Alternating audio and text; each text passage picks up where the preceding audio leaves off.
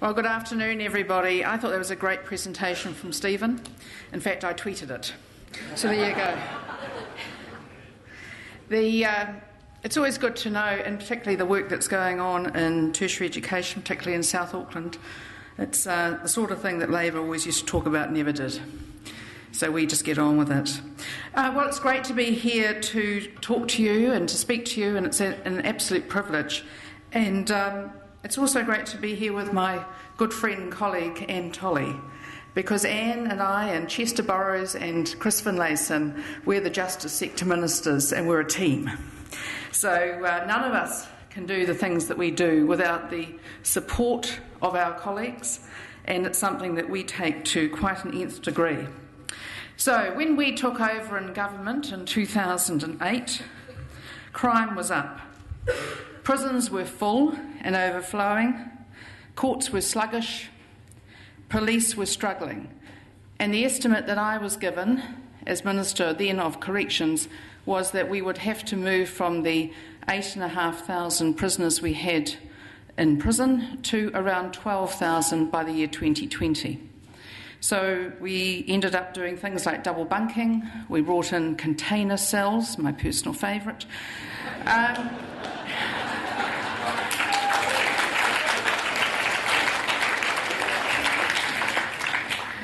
But we are now in a situation where I can tell you that crime last year showed the lowest crime rate in 30 years.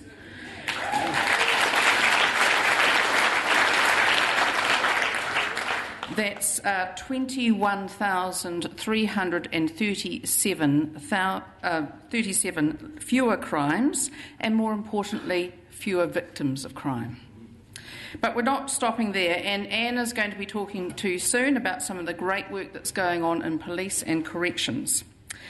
So we have this thing called Better Public Services. I'm just going to check all of this works, right? And that actually means is we've got some very big targets that we have set for ourselves, and the Prime Minister very helpfully told me they were on my head. So um, and I can't achieve those unless Anne and Chester and Chris and I are all working together, as well as all of our chief executives and our teams. So we want to reduce crime in the four critical areas of reoffending, overall crime, violent crime, and youth crime. And we all want performance improvement and better public services. And what we know is you can't bash the public service into shape, you need to lead it. And that's what we're doing. So it's a huge change program and it needs positive encouragement and trust, and we're doing it all without any extra money. So, this is the Justice Sector leadership team. Uh, you'll note that Chris Finlayson wasn't there for that photo because he just likes to drop in every now and again, cause havoc, and then run away again. Um, mostly, I have to say, he's causing havoc with the Labour Party, but whatever. My job, though, is to lead, support, and facilitate teamwork across the sector, enable cooperation, and develop leadership at all levels. So, together, though, we identify common goals and common visions and this is translating into a shared responsibility and shared achievements. And senior management are now embracing and taking leadership of this project in each of their own areas, and it has been absolutely critical to the success of our sector. So, since setting the justice sector targets, i would like to update you on just how well we're going. So, first off, total crime is down 11%.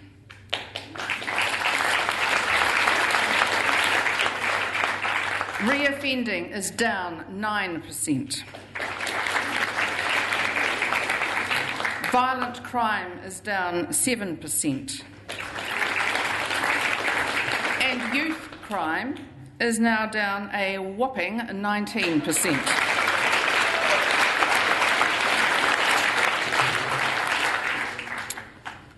So we are getting smarter on crime, not just tougher, but smarter. And in the justice portfolio, a few of the many new initiatives are these greater protection for vulnerable women and families, increased penalties for breaching a protection order, a wider definition of domestic violence, and a new order against offenders who move near a victim's home in order to intimidate them.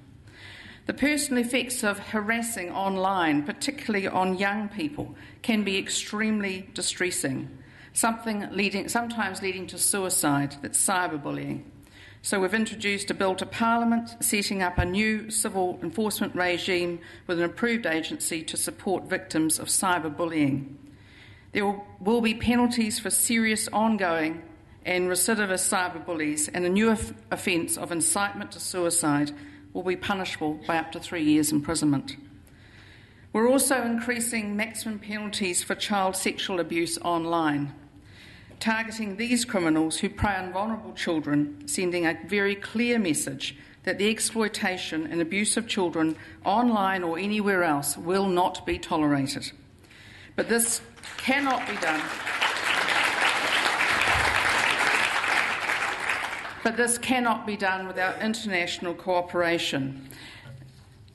People don't always realise sometimes that to protect New Zealanders at home, we must work together in an international effort. And I'm here shown with the head of the UN's uh, group that uh, protects against organised crime and drugs, and on the right with uh, Homeland Security Secretary for the US, Janet Napolitano. We're all working together for common goals. Because crime is becoming increasingly international and better organised. So I've been working very actively as part of international discussions and strategy to make New Zealanders safer from these. Areas where we are working on, for example, are sexual abuse of children online, money laundering and countering terrorism, racial disharmony and discrimination, criminal history sharing, human trafficking, drugs and organised crime, because these crimes know no borders and we need to have uh, measures in place to protect our people. In order for all of these initiatives to work, though, our justice system must be a well oiled machine. So we're introducing electronic operating models for courts, and this is shifting the focus away from bricks and mortar and paper files to making a process that's much easier and less cumbersome. The Judicature Act review is that sort of uh, let's say lawyer's law, it's a review to simplify the system and remove unnecessary court hearings. The Honourable Chester Borrows, as the Minister of Courts, is over, overseeing the biggest criminal procedure reform in 50 years. Well done, Chester.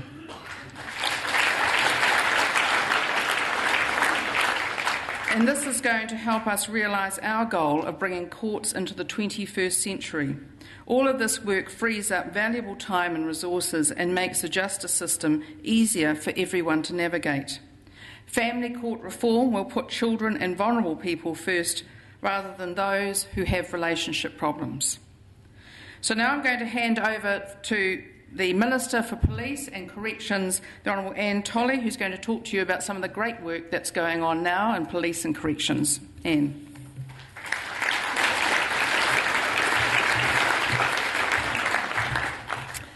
Uh, good afternoon, everyone. Uh, yes, Prime Minister, can I say what a delight it is, what an honour it is to be uh, the Minister of Police. They are doing a fantastic job, and I encourage you to talk to the police that are out and about, uh, keeping the uh, mob out there at bay. Um, let me get on to. Is that it? Okay, so, so as well as uh, delivering those fantastic results over the last few years and the decrease in recorded crime in this country, the police themselves have been undergoing a massive change, a, a restructure of themselves, and a refocusing of their efforts from uh, onto a more preventative mode. So, as well as solving crime, they, we want them, and they, they have decided themselves that they are far better being out there, much more visible in our community, working in our communities to prevent crime from happening in the first place. That's what creates safe communities because, of course, you don't have people becoming victims. So, this program called Policing Excellence was introduced. It has 12 different strands. I'm not going to go through it, uh, but I think the really important ones for you to understand we've listed out here today. First of all, alternative resolutions. So if we want to free up our court time for the more serious um, uh, processes for the more serious offences, then the best thing we can do is get that low level offending uh, out of the courts. And alternative resolutions is perhaps the more modern, uh, PC way of the old kick in the pants. So the police arrest you, they take you down to the station, you're fingerprinted, you're recorded, and then they pat you on the shoulder and you, they say, Go away and we don't want to see you again. And guess what? By far the, the majority of those people we aren't seeing again. So the courts, they aren't involved in that process. They go on with their lives. They've had a bit of a fright, uh, and we don't want to want, we don't want to have anything more to do with them. That's alternative resolutions. Over the last year, there were 21,000 of those, so they're still counted in the crime stats, uh, but they don't clog up the courts. Second one is around rostering. Now, this can cause a little bit of concern out in the communities when the senior sergeant from a Opotiki gets taken back into the Whakatane police station and people think they're losing their senior sergeant. Actually, what we're doing is much smarter. We are allowing our police to determine where the crime is happening or most likely to happen. So, in a place like a Opotiki, my biggest complaint is on a Saturday night when the youths are rampaging up and down the streets at two o'clock in the morning, there's only one person on duty. Now that's dumb, the police say. We want to be able to have four, five, maybe six there uh, at, at, particular times to do a blitz so that those young people know that they're not going to be able to rampage up and down the main streets and break and uh, break windows and put graffiti and, and get into fights. So it's allowing the police to have the right people at the right place at the right time.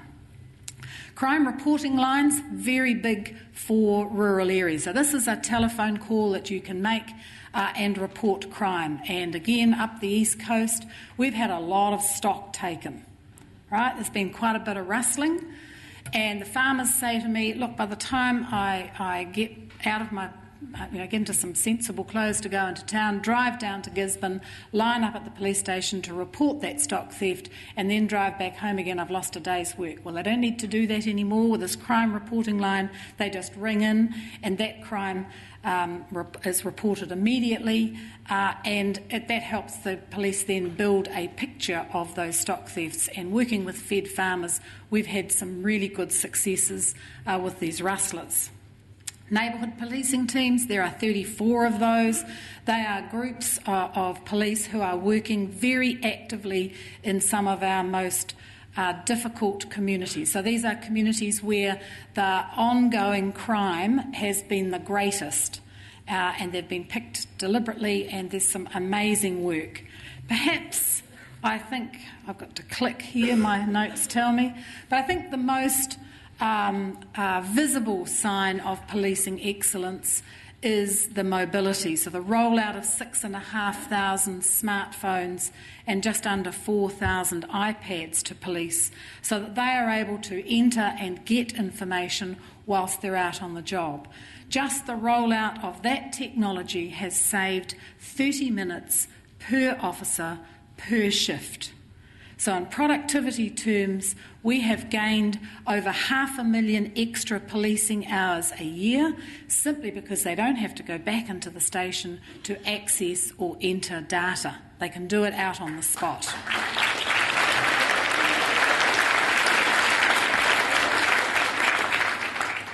So they're doing a fantastic job, and I have no doubt that we will reap the benefit of both that new way of working uh, and the, and the, uh, the extra technology that we've put in their hands, and we will continue to see recorded crime dropping and our communities getting safer.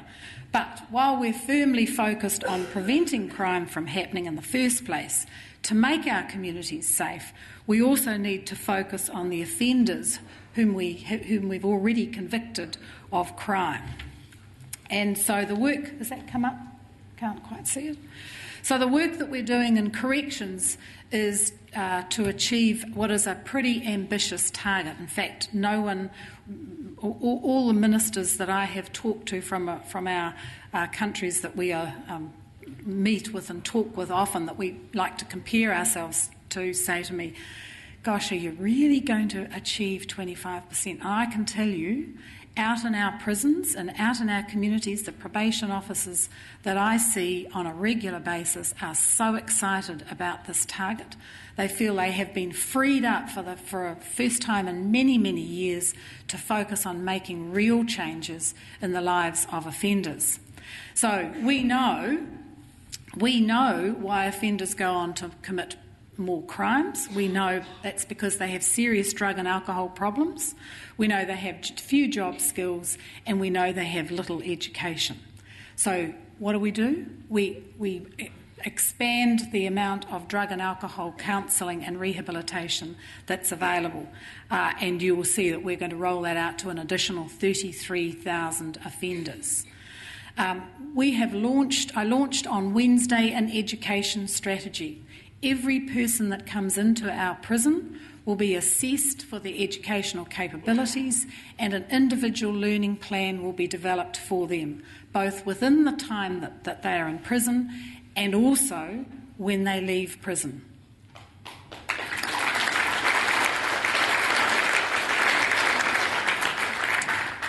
We are, we are making our prisoners work. So we are turning three of our prisons into working prisons.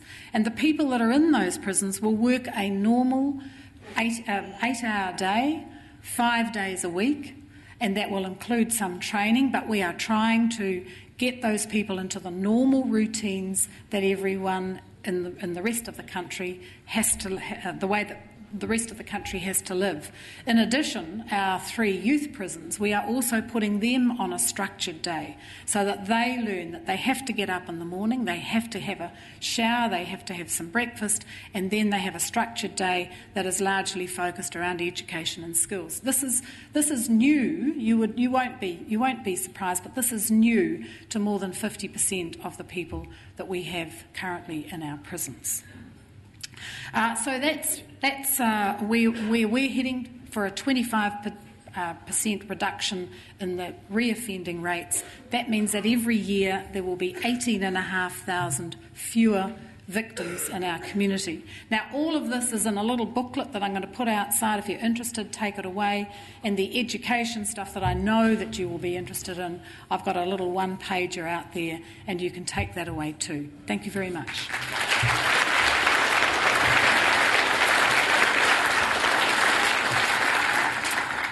So now you know why we're all proud of uh, the work that each of us is doing in this area. And uh, not one of us can succeed, in my opinion, in the justice sector unless we all succeed. We all have to work together. Any one of us could let the other down unless we're working well.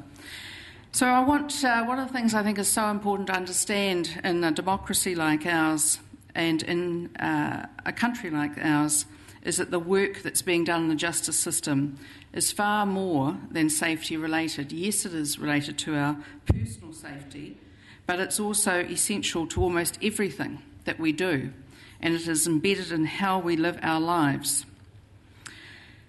As I've mentioned before, a well functioning and transparent justice system is like the transparent glue that binds us all together.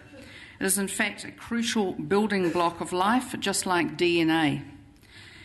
So it's a building block in many sectors and at all levels individual, family, social, business, constitutional, political, and internationally. Take the economy, for example. The total cost of crime in New Zealand in 2003 4, so that was a decade ago, was estimated at $9.1 billion. Well, that's $11 billion in today's costs. But $7 billion of that uh, figure was actually the cost to the private sector, the cost to people, the cost to their property, uh, the cost to their well-being. But New Zealand consistently ranks highly as one of the world's least corrupt countries. And in 2012, we ranked first equal in Transparency International's Corruption Perception Index for having one of the least corrupt, most transparent governments in the world. I'd be very excited about that if I was you, except for this. It is, in fact, the seventh year in a row that we have ranked number one in the world.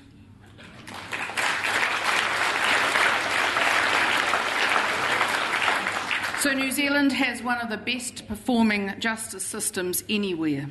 There is minimal corruption, a strong judiciary, and high public confidence in our institutions. And there's a separation of powers that we must always protect. This is a huge advantage for business. People and businesses want to be able to invest in a country with a sound judicial system that understands the rule of law. So it's the job of our justice system is to keep society running smoothly. And it's the sort of system that you only notice it when it's not working. Then it really does matter. But that's why I'm very proud to lead this sector and to lead this mission. And I'd like to thank once again my colleagues for their uh, extraordinary work and their teamwork. Ministers Tolley, Borrows, and Finlayson and their supporting organisations so we can just get on with the job. But thank you very much for all of the support you give us.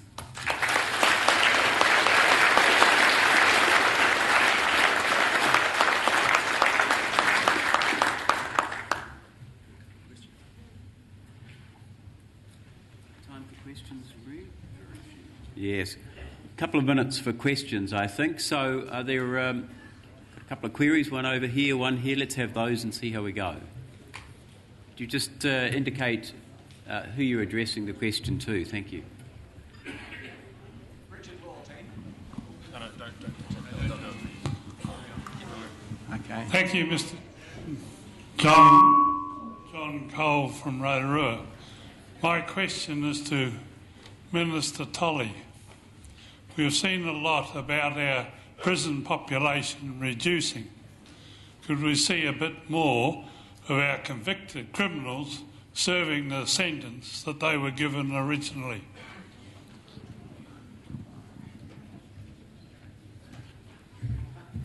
Yeah, so our, our most serious offenders, um, we've, we've, we did, we have some time ago tightened up uh, the parole. So they, they are staying in jail longer, uh, and we all want that. It's the work that we're doing really uh, is with the ones who are coming back out and living in our community. Now, you know, when they've served their sentences or when the parole board releases them, then, then they are free to go. And uh, they are the ones that we're really focused on making sure that we can get some education, get them off the drugs and alcohol, and get them some work skills, and hopefully get them a job so that they will not go on to reoffend in our community. But we are guided by the laws. Uh, and uh, and by the the assessment of our parole boards as to when prisoners are, an, are able to leave, to leave prison and go back out into the community. Thanks, Anne. One question over here. Richard Lawton. Richard Lawty, Manurewa. Um, Manurewa, South Auckland. Um, it was wonderful to hear about the reduction in crime, and that's wonderful. The problem I have is being a neighbourhood watch coordinator, I know that the rest of the crime happens down my street, right? now, I'll just give you a, a, a rundown, and it will help um, in a conversation between me and a police officer that happened on Thursday before I came to the thing. Um, can you come down and identify this guy? I said, I don't think it'd be a good idea because I couldn't catch up with the guy um, and I only saw the back of him anyway. But he dropped two bottles, which I brought to you, which you can fingerprint. So if you match the fingerprints, you got him. There was a pause, and he says, This isn't CSI, you know. It's going to take a fortnight for us to take the fingerprints, send them away, get a guy to look at them with a microscope, and get the results back. Now, um, I know from the last four burglaries that they didn't lift a single fingerprint. This is just house burglaries. It strikes me that there's been amazing. I have no argument about the number of police that arrive. Whenever I call them, I can tell you they appear in droves. I'm impressed. But I'm concerned about the upgrade of the technology they use other than the smartphones and the rest of it, do you know? So, can I leave that with you to investigate what improvements they can make on the hardware they need to get cracking and to assist. Yep. Look, can I start by saying thank you very much for the tremendous work that organisations like Neighbourhood Watch do. Um, and the reality is that uh, without groups like Neighbourhood Watch, um, the community patrols, uh, and victim support. They are all major partners, uh, and Maori Wardens are the other big group. They're major partners of law enforcement, and I know Judith um, would, would say the same. You know, we just can't do the jobs that our police and corrections do without the help of those groups. So thank you very much. You're right. Uh, we, we, we do have to make sure that, yep, the first step is getting them off those um, um, phones that they have in police cars with these smartphones in their hands. Now we've got to look at right across the board what is the what is the modern technology. In fact, I get into trouble with the police because I watch CSI and I say exactly the same. Why can't you do that overnight? Actually, CSI can do it in half an hour. Good response. Thank you. Got one last question here from Fear. Is on? Okay, Talofa. I just want to acknowledge the work that you're doing, your team, because um, I always talk to police and I always say to them that we feel safe when they're around, and, and it's really cool. Um, my question is around uh, what's your policy around reintegration and connecting back to the community just to make sure that you know that, that continuation of safe safety uh, carries on. And I'm thinking of do you see the government working with communities and churches involving that as a partnership to, yeah, thanks. One, one of the things that uh, Judith, as the team leader, has done is, is uh, convince the Minister of Finance to allow us to have this thing called the Justice Sector Fund.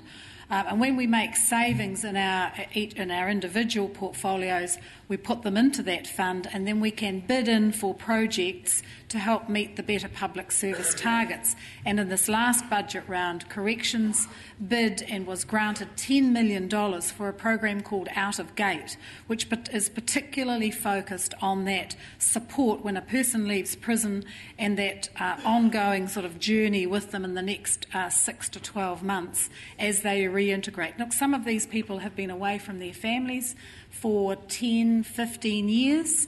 Um, so, I mean, you can imagine, you imagine being locked away um, for 10 years and coming out and seeing just how we use um, uh, mobile phones.